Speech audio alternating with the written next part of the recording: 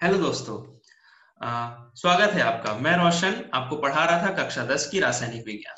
तो सबसे पहले मैंने आपको कुछ टॉपिक्स बताए थे। क्या क्या आपको आने चाहिए? होप आपने उसे पढ़ लिया होगा।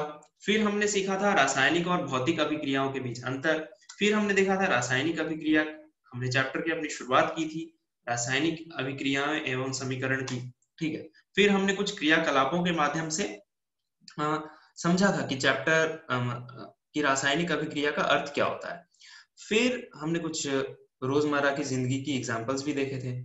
फिर हमने रासायनिक अभिक्रियाओं को संतुलित करना सीखा था, उसका महत्व जाना था और आपको कुछ क्वेश्चंस भी दिए थे। होप आपने उसे सॉल्व कर लिए होंगे। और आज बढ़ते हैं आगे। आज हम पढ़ेंगे रासायनिक अभिक्रियाओं के प्रकार, कितने प्रकार के होते हैं, ठीक है? तो बेसिकली रासायनिक अभिक्रियाएँ जो वो पाँच प्रकार की होती है। आइए देखते हैं। तो हाँ दोस्तों तो हम पढ़ेंगे सबसे पहले, ये हो गया रासायनिक अभिक्रियाओं के प्रकार तो संयोजन अभिक्रिया, जिसे हम अंग्रेज़ी में कॉम्बिनेशन रिएक्शन भी कहते हैं। साइड में राइट साइड में अंग्रेज़ी नाम लिखे हुए ठीक है?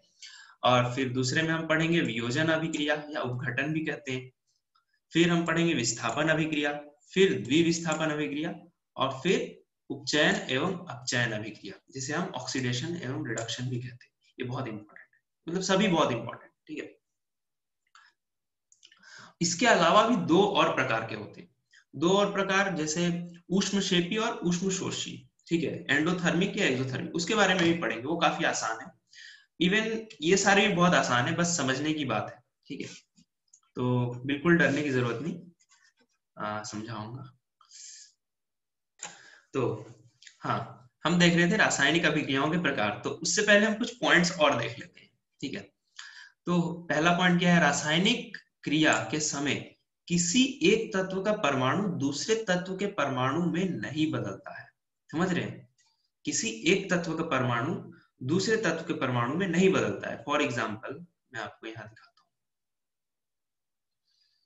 हूँ। जैसे ये calcium oxide plus H two है, ठीक है? ये रिएक्शन कर रहा है। तो कैल्शियम जो है अपना ऐसा नहीं है कैल्शियम की जगह सोडियम आ जाएगा ठीक है? किसी क्या लिखा हुआ था? हम्म, किसी एक तत्व का परमाणु दूसरे तत्व के परमाणु में नहीं बदलता समझ रहे हैं ना? यहाँ पे कैल्शियम की परमाणु है है ना? कैल्शियम का परमाणु तो ऐसा नहीं होगा कि कैल्शियम पोटेशियम कैल्शियम उड़ के पोटेशियम आ जाएगा या कैल्शियम बदल के पोटेशियम कैल्शियम पोटेशियम में बदल जाएगा या सोडियम में बदल जाएगा या किसी और तत्व में बदल जाएगा, समझ रहे ना? तत्व तो वही रहेगा। वही रहे हम्म। और फिर दूसरे में, ना तो कोई परमाणु मिश्रण से बाहर जाता है, ना ही बाहर से मिश्रण में आता है, समझ रहे ना? जहाँ जिस कंटेनर में भी रिएक्शन हो रहा है, जिस भी अः जहाँ पर भी रिएक्शन हो रहा है, ठीक है, अभिक्रिया हो रही है वहाँ से कोई भी परमाणु बाहर नहीं जाएगा और ना ही अंदर आता है, ठीक है? कोई भी दूसरा परमाणु, समझ रहे ना? जैसे ऐसा नहीं है कि सोडियम, जब तक हम सोडियम डालेंगे नहीं, क्या दूसरा तत्व नहीं डालेंगे, तब तक ऑटोमेटिक नहीं आएगा, ठीक है? तो दूसरा तत्व जो है हाँ तो कोई भी परमाणु जो है मिश्रण के बाहर नहीं जाता और मिश्रण के अंदर नहीं आता ठीक है? वास्तव में, अब देखिए, वास्तव में किसी रासायनिक अभिक्रिया में परमाणु के आपसी आबंध के टूटने से टूटने एवं जुड़ने से नए पदार्थों का निर्माण होता है। ठीक है? होता क्या है? अब हमने देखा कि एक कैल, एक तत्व का परमाणु दूसरे तत्व में नहीं बदलेगा। तो होता क्या है? होता क्या है कि आबंध टूटते हैं। आबंध मतलब बॉन्ड्स बॉन्ड्स हम पढ़ेंगे आगे के चैप्टर्स में। आगे के चैप्टर में चैप्टर थर्ड या फोर्थ में चैप्टर थर्ड में शायद है। ठीक है? आबंधों के बारे में है। तो वहाँ पे आप देखेंगे। तो बॉन्ड्स टूटता है आबंध टूटते हैं और फिर कैल्शियम और ऑक्सीजन जुड़े हुए थे एक आबंध से फिर वो टूट कर ठीक है और पानी भी जुड़ा हुआ था टूट कर फिर एक रीअरेंजमेंट होता है ठीक है समझ रहे ना? तो ऐसे बनता है। जी तो आइए आगे बढ़ते हैं। फिर क्या है? हम्म, तो सबसे पहले हमने क्या देखा था?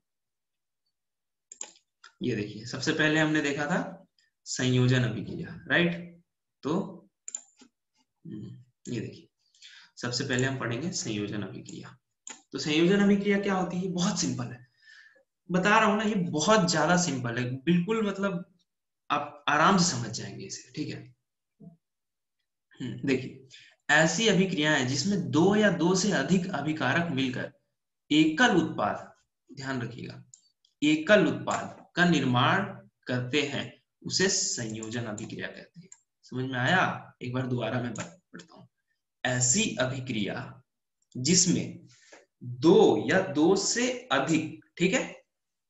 ध्यान दीजिएगा, दो या दो से अधिक अभिकारक मिलकर एकल उत्पाद का निर्माण करते हैं, उसे संयोजन अभिक्रिया कहते हैं, ठीक है? तो एक एग्जांपल देखते हैं, ठीक है? जैसे कैल्शियम ऑक्साइड प्लस वाटर ठीक है? कैल्शियम ऑक्साइड को देखिए कुछ कुछ नाम आपको याद रखना पड़ेगा कॉमन नेम्स ठीक है? बिना बुझा हुआ चुना भी कहते हैं कैल्शियम ऑक्साइड। और कैल्शियम वो मिलकर क्या बनाता है? एक नया पदार्थ कैल्शियम हाइड्रोक्साइड प्लस उष्मा, ठीक है? उष्मा मतलब हीट अब समझ ही रहे होंगे। थोड़ा गर्म हो जाता है। जिस भी कंटेनर में क्या बुझा हुआ चूने में पानी डालते हैं तो क्या होता है? कंटेनर गर्म हो जाता है, ठीक है? या पानी में बुझा हुआ चूना डालेंगे तो वो गर्म हो जाएगा। ठीक है?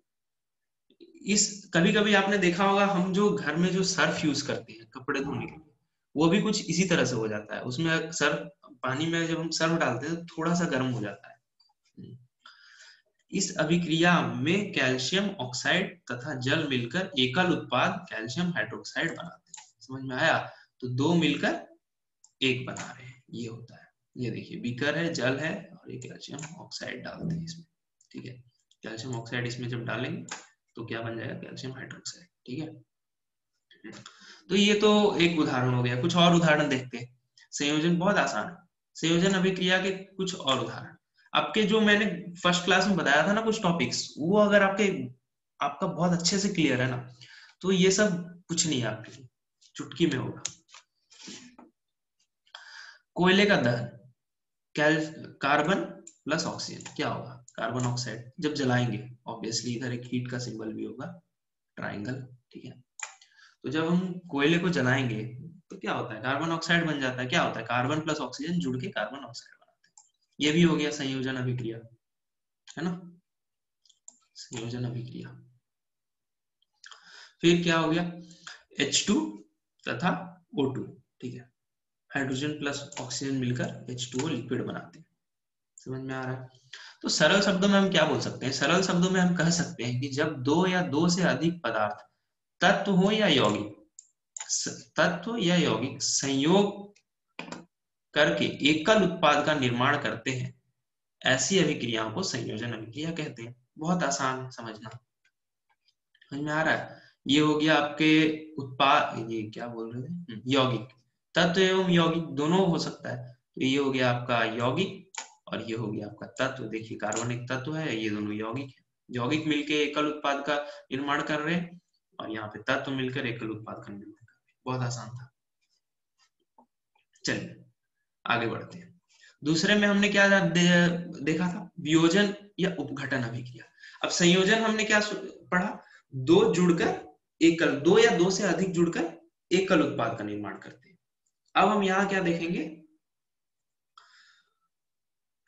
एक पदार्थ मतलब एक आपका यौगिक टूटकर कई पदार्थों में कई उत्पाद प्रदान करेगा। समझ में आ रहा है? देखते हैं। क्या? ऐसी अभिक्रिया जिसमें एकल अभिकारक, ध्यान दीजिएगा, एकल अभिकारक ठीक उल्टा, संयोजन का उल्टा वियोजन, ठीक है? नाम से ही पता चल रहा है। एकल अभिकारक टूटकर छोटे छोटे उत्पाद प्रदान करता है, उसे वियोजन अभिक्रिया कहते हैं। ठीक है? अब वियोजन हम जैसे एकल क्या बोलते हैं? एकल अभिकारक। एक एकल अभिकारक मतलब वो तो यौगिक ही होगा है ना? तत्व तो नहीं हो सकता। यौगिक टूटकर एकल जो अभिकारक है वो तो यौगिक हो सकता है तत्व तो नहीं हो सकता। टूटकर तत्व और यौगिक में आ, मतलब उत्पाद उत्पाद होंगे ठीक है? उत्पाद प्रदान होंगे। समझ जाइए। तो होता क्या है? तो हम इसे तीन या हम यहाँ पे देखेंगे तीन तरीके से उसे हम वियोजित कर सकते हैं, उपघट, उपघटन अभिक्रिया को हम ये कर सकते हैं।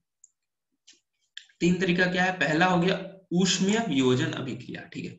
ऊष्मा के द्वारा, किसी भी चीज़ को ऊष्मा, बंसन बर्नर, ये देख रहे हैं बर्नर, ये डायग्राम में देखिए। ये बर्नर से हम टेस्ट ट्यूब में लेकर, वो यौगिक लेकर, ठीक है?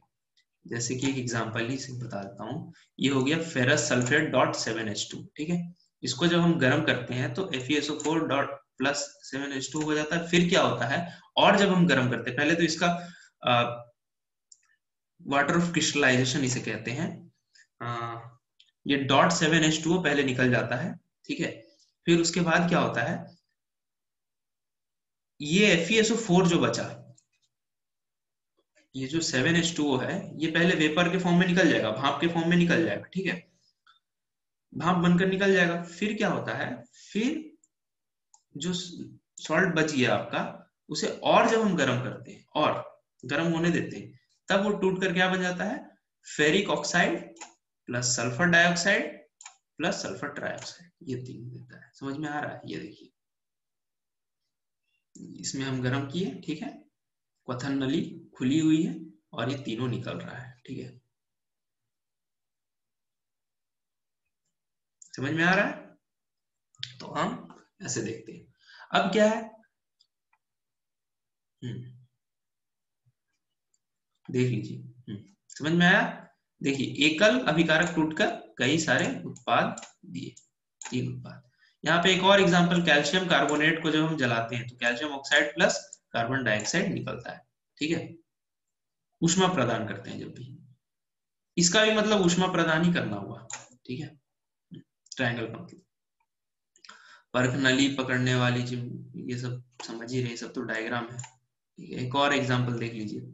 लेड नाइट्रेट को जब हम गर्म करते हैं तो lead oxide plus four N O two plus oxygen nitrogen dioxide lead oxide और ऑक्सीजन तीनों हमें मिलता है। ठीक है लेड नाइट्रेट को गर्म करने से। फिर दूसरे तरीके से हम मैंने आपको बताया था तीन तरीका। हम देखेंगे यहाँ पर। तो पहला, उष्मा के द्वारा। उपघटन हो रहा है या उपघटन हो रहा है, है कि नहीं? फिर या वियोजन भी बोल सकते हैं। वियोजन हो रहा है उष्मा के द्वारा। फिर देखेंगे विद्युत के द्वारा।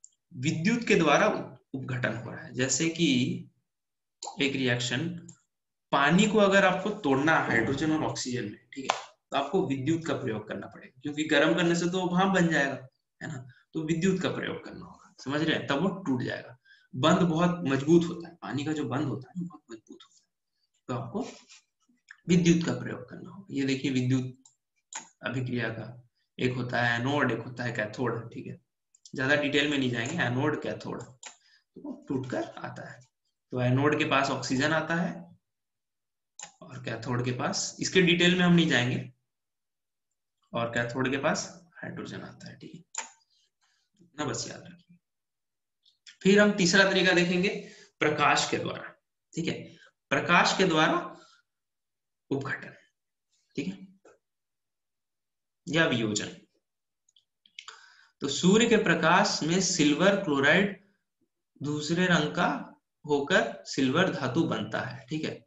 देखिए एजीसीएल सिल्वर क्लोराइड हो गया। सूर्य का प्रकाश जब उसके ऊपर पड़ता है तो सिल्वर टूट के सिल्वर और क्लोरीन गैस रिलीज़ करता है। ठीक है? और वैसे ही सिल्वर ब्रोमाइड भी सूर्य के प्रकाश में जब होता है उससे सिल्वर और ब्रोमीन। ये देखिए, ये जो ये जो मैंने बताया ना, सिल्वर यही कॉन्सेप्ट जो होता है, ये आपका यूज़ होता है फोटोग्राफी में। पहले के जमाने में, आज आज तो डिजिटल कैमरा हो गया। पहले के जमाने जब रील होता था तो क्या होता था कि जब नेगेटिव निकालते थे फ़ोटो का तो उसमें ये यूज़ होता था। सिल्वर, ये सूर्य के, ये जो अभी क्रिया जो है ना, ये कॉन्सेप्ट यूज़ होता था। ठीक है? एग्जैक्टली exactly कैसे होता था मुझे अब याद नहीं है पर ये कॉन्सेप्ट यूज़ होता था। ये कंपाउंड होता था और जब लाइट पड़ता था तो टूटता था। ये भी काफ़ी इंटरेस्टिंग है। तो ये पहले के फोटोग्राफी में यूज़ होता था। हम्म, आजकल भी आपको मिल जाएगा वो सब कैमरा हम्म। चलिए आगे बढ़ते हैं। अब तीसरा क्या है? विस्थापन अभिक्रिया। ठीक है। ये ये थोड़ा इंटरेस्टिंग है। ये भी देखिए कैसा होता है। विस्थापन अभिक्रिया। इसको बड़ा ध्यान से समझिएगा, ठीक है? पहला दो तो बहुत आसान था समझना। इसको बड़ा ध्यान से समझिएगा। इसमें क्या होता है? विस्थापन अभिक्रिया वह रासायनिक अभिक्रिया होती है जिसमें ज़्यादा अभिक्रियाशील तत्व या अधिक ये लाइन को ध्यान दीजिए। ज़्यादा अभिक्रियाशील तत्व। कम अभिक्रियाशील तत्व को उसके यौगिक से विस्थापित कर देता है। विस्थापन अभिक्रिया में धातुएँ और अधातु दोनों भाग लेते हैं। समझ रहे ना? आप, ठीक है। पहले ये है ये है उसका मेन डेफिनेशन ठीक है? यहाँ से यहाँ। क्या? फिर से एक बार मैं पढ़ता हूँ। विस्थापन अभिक्रिया वह रासायनिक अभिक्रिया होती है जिसमें ज़्यादा अभिक्रियाशील तत्व कम अभिक्रियाशील तत्व को उसके यौगिक से विस्थापित कर देता है। ठीक है? जैसे कि सिंपल में समझाता हूँ। बीसी एक कंपाउंड है, ठीक है? ए एक तत्व है। तो मानते हैं कि ए जो है ज़्यादा अभिक्रियाशील है, ठीक है? और बी से कम अभिक्रियाशील बी से ज़्यादा अभिक्रियाशील है। ठीक है? तो ए क्या करेगा? बी को बोलेगा, चल भाग यहाँ से। ठीक है? निकल जा तू यहाँ से। अब जो ज़्यादा पावरफुल होगा, कमज़ोर को तो धक्का मार के निकाल देता है ना? देखिए। तो ए जो आया बी को बाहर निकाल दिया। क्योंकि ए ज़्यादा अभिक्रियाशील था।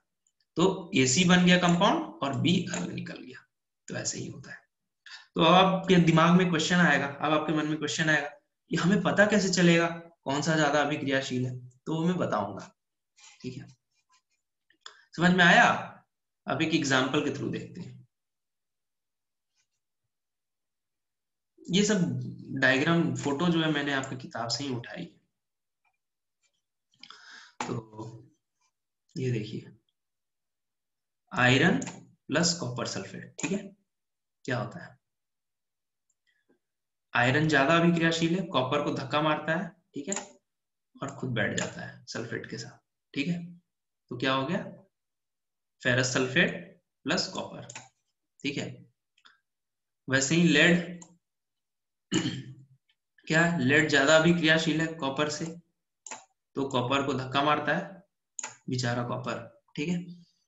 और लेड क्लोराइड बना लेता है प्लस कॉपर कॉपर अलग हो जाता है। वैसे ही इसमें देखिए ब्रोमीन जो है हम्म यहाँ पे ध्यान दीजिएगा। ब्रोमीन जो है पोटेशियम को धक्का नहीं मारेगा क्योंकि ब्रोमीन एक अधातु है, ठीक है नॉन मेटल है, और वो नॉन मेटल को ही हटाएगा। जैसे ये आयरन जो था, धातु था तो वो धातु को हटाएगा। ब्रोमीन जो है आयोडीन को हटा देगा, ठीक है? तो आयोडीन ये बन गया केबीआर प्लस ए टू ठीक है? तो वही ये जो लाइन है ना, विस्थापन अभिक्रिया धातु एवं अधातु दोनों भाग लेते हैं, ठीक है? विस्थापन अभिक्रिया में। ऐसा नहीं है कि सिर्फ़ धातु, ये जैसे आयरन हो गया धातु कॉपर हो गया धातु तो ऐसा नहीं है कि सिर्फ़ ये लेते हैं। विस्थापन अभिक्रिया में दोनों भाग लेते हैं, जैसे कि यहाँ पे आप अधातु को भी लेते हुए तो अब हम देखते हैं कि क्या है भाई। क्या माजरा है इसका? कौन ज़्यादा शक्तिशाली है? देखा जाए। हम्म। पहले अधातु का देख लेते हैं, बहुत आसान है। सबसे शक्तिशाली है क्लो फ्लोरीन फिर आता है क्लोरीन फिर आता है ब्रोमीन फिर आता है आयोडीन ठीक है?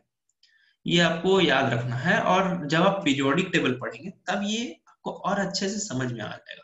क्यों ज़्यादा अभिक्रियाशील है? ठीक है? अभी तो आप याद रख लीजिए, ज़्यादा कोई मुश्किल नहीं है। पहले फ्लोरीन क्लोरीन ब्रोमीन आयोडीन ठीक है? पीरियोडिक टेबल में देखेंगे तो ऊपर से नीचे आता है? अब ये आते हैं हम धातु पे, ठीक है? धातु का इसे हम बोलते हैं रिएक्टिविटी सीरीज़ ऑफ़ मेटल अंग्रेज़ी में। मतलब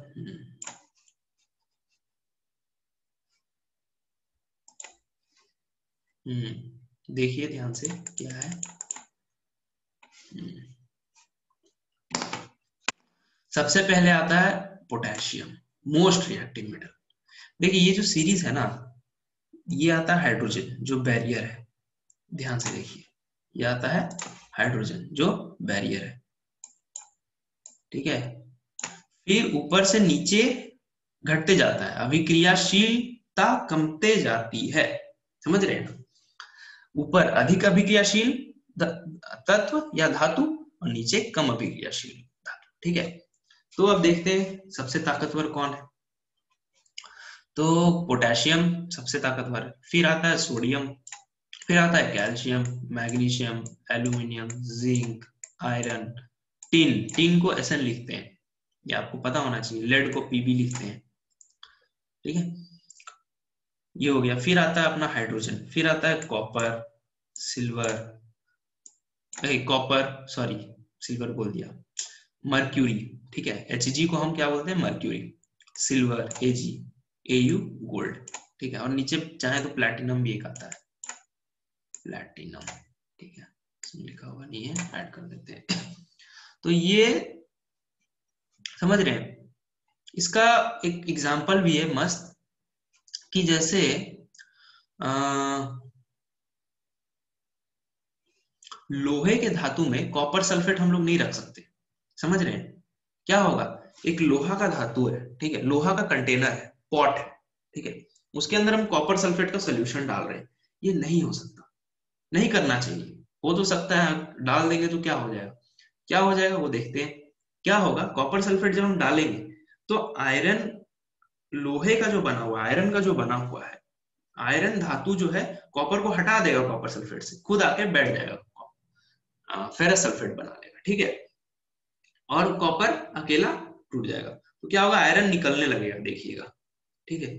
तो इसी के लिए हम लोग देखिएगा, बर्तन जो होता है हमारा पहले के जमाने में चांदी के बर्तन, सोने के बर्तन भी हुआ करते थे, अगर आप जानते होंगे। तो चांदी के बर्तन, सोने के बर्तन क्यों होते हैं? क्योंकि अगर सोने का बर्तन हम लेते हैं तो सोना तो किसी से रिएक्ट नहीं करेगा, है कि नहीं? सोना तो किसी से रिएक्ट नहीं करेगा। क्योंकि वो सबसे लीस्ट रिएक्टिव है तो उसमें कुछ भी डाले, वो रिएक्ट नहीं करने वाला। कुछ है, कुछ एसिड्स होते हैं, जो रिएक्ट कर दे, कर जाता है जिनसे ये पर जनरली अगर डिस्प्लेसमेंट रिएक्शन नहीं होगा, इस तरह का जो हम कुछ करेंगे वो सब डिस्प्लेसमेंट रिएक्शन तो नहीं होगा। डिस्प्लेसमेंट यानी विस्थापन अभिक्रिया तो नहीं होगा, ठीक है? समझ रहे हैं ना आप? तो ये सीरीज़ भी आपको याद रखनी है। बस यही सीरीज़ याद रखनी है। फिर तो आप तुरंत निकाल लेंगे। किसको धक्का मारना है, किसको नहीं मारना है, ठीक है? वो तो आपको समझ में आ जाएगा। चलिए लास्ट देखते हैं। हम्म। द्विविस्थापन अभिक्रिया ठीक है? ये हमने समझा ऊपर वाला। अब द्विविस्थापन अभिक्रिया द्विविस्थापन को हम लोग डबल डिस्प्लेसमेंट भी कहते हैं। ये देखिए। द्विविस्थापन डबल डिस्प्लेसमेंट डबल डिस्प्लेसमेंट ठीक है? तो आते हैं वापस। द्विविस्थापन अभिक्रिया। अब देखिए ध्यान से। ऐसी अभिक्रिया जिसमें दो यौगिक, दो नए यौगिक बनाने के लिए, समझ रहे? दो यौगिक तत्व नहीं यौगिक, दो नए यौगिक बनाने के लिए आयनों का आदान प्रदान करते हैं।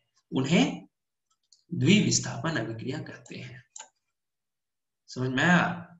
ऐसी अभिक्रिया जिसमें दो यौगिक, दो नए यौगिक बनाने के लिए आयनों का आदान प्रदान करते हैं, उन्हें द्विविस्थापन अभिक्रिया कहते हैं। इन, इसका भी फंडा समझते हैं। ये इसको ए बी सी डी को जरा ध्यान से समझिएगा, ठीक है? आपको एक रूल तो पता होगा, नहीं पता है तो बता देता हूँ। जैसे ही अगर कोई कंपाउंड है, यौगिक है ए बी ठीक है? तो ए जो होता है वो प्लस वाला पार्ट होता है। बी जो होता है वो माइनस वाला पार्ट होता है। ठीक है?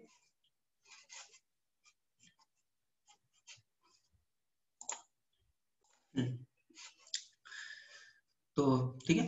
बी जो होता है एनायन होता है ए जो होता है कटायन होता है। तो इसमें होता क्या है? ध्यान दीजिएगा। A B plus C D ठीक है? तो किसी भी यौगिक को हम ऐसे लिखते हैं। पहले कटायन वाला लिखते हैं, फिर एनायन वाला लिखते हैं। मतलब पहले प्लस वाला लिखते हैं, फिर माइनस वाला लिखते हैं। तो A B plus C D जब रिएक्ट करता है तो ए और डी मिल जाते हैं और बी और सी मिल जाते हैं। ठीक है? तो ध्यान से देखिएगा इसे। ये बनाएगा एडी मिलकर और ये बनाएगा सी बी बी सी नहीं ध्यान दीजिएगा क्यों? ये नहीं, क्योंकि यहाँ पे देखिए, मैंने बताया यौगिक को जब भी हम लिखते हैं तो पहले कैटायनिक पार्ट लिखते हैं मतलब कैटायन वाला प्लस वाला पार्ट लिखते हैं, ठीक है? धनात्मक आयन जिसे हम बोलते हैं, धनात्मक। तो धनात्मक ये हो गया, ऋणात्मक ये हो गया। तो जब, और ये धनात्मक हो गया, ठीक है? ये प्लस ये प्लस ठीक है? ये माइनस ये माइनस वाला पार्ट ठीक है? तो ये जब बी और सी जब मिलकर यौगिक बनाएँगे तो पहले तो धनात्मक वाला पार्ट आएगा ना प्लस वाला पार्ट तो इसी के लिए सी भी लिखते हैं उसे, समझ रहे हैं? तो ये ध्यान दीजिएगा। तो वैसे तो कॉन्सेप्ट बड़ा आसान है। ए और बी डी मिल जाता है और बी और सी मिल जाता है सी और बी मिल जाता है, ठीक है? तो ये भी, ये दो प्रकार के होते हैं मेनली समझ रहे हैं? ये जो होते हैं मेनली दो प्रकार के होते हैं। क्या? देखते हैं अभी एक होता है अवक्षेपण अभिक्रिया, ठीक है? और एक होता है उदासी, उदासीनीकरण अभिक्रिया, ठीक है? तो एक एक करके समझते हैं। मेनली ये दो टाइप का होता है। अवक्षेपण, दो प्रमुख प्रकार होते हैं इसे, इसके, ठीक है? द्विविस्थापन के। तो अवक्षेपण में क्या होता है? दो लवण अभिक्रिया करते हैं। जैसे एक एग्जांपल देता हूँ sodium sulphate plus barium chloride ठीक है? तो अवक्षेपण अभिक्रिया, इसमें क्या होता है? इसे हम इंग्लिश में, अंग्रेज़ी में प्रेसिपिटेशन रिएक्शन भी कहते हैं। एक अवक्षेप बच जाता है, ठीक है? अवक्षेप। अवक्षेप क्या होता है? मैं बताता हूँ।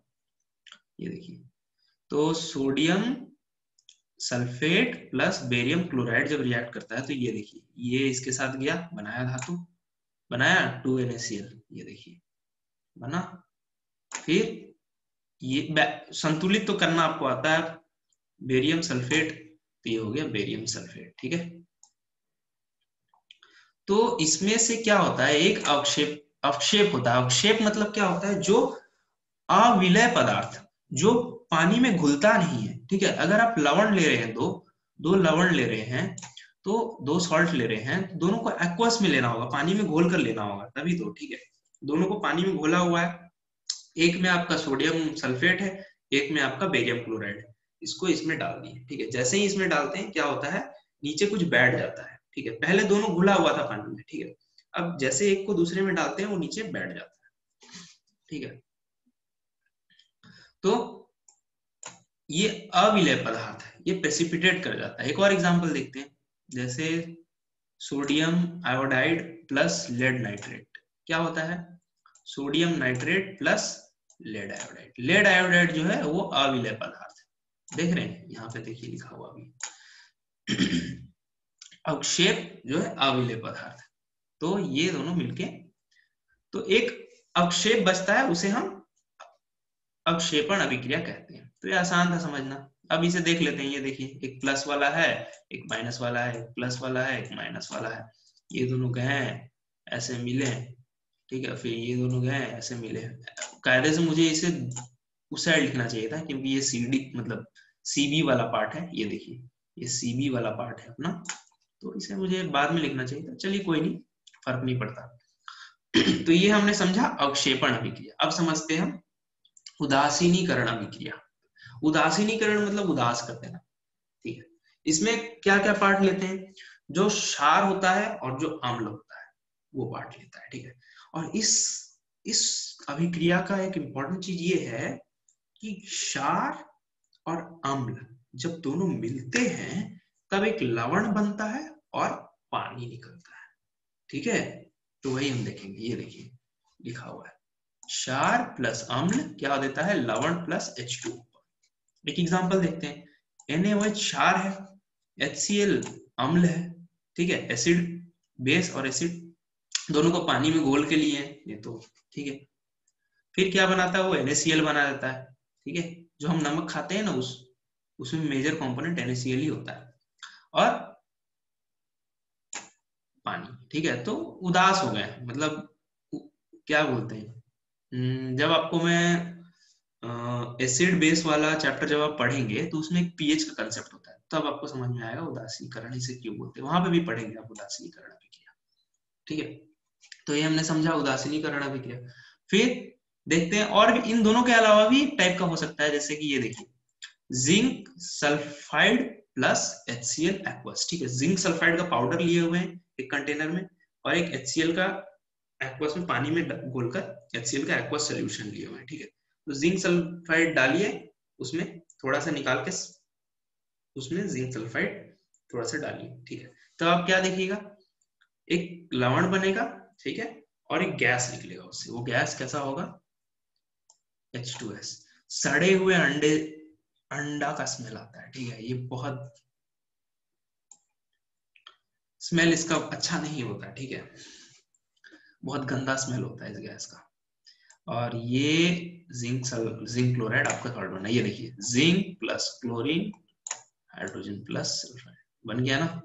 H2S अब अब बोलेंगे कि, भैया आप तो बताए थे कि सी बी होता है। सी बी मतलब एच एस लिख देंगे। ऐसा नहीं होता है। एच एस नहीं लिखा जाता, ठीक है? ये क्या कंपाउंड बनाएगा, ये आपको समझना होगा। ये वैलेंसी से पता चलेगा। फॉर एग्ज़ाम्पल मैं बता देता हूँ। जैसे H का वैलेंसी प्लस वन है, ठीक है? सल्फ़र का टू माइनस है, ठीक है? तो कैसे बनेगा?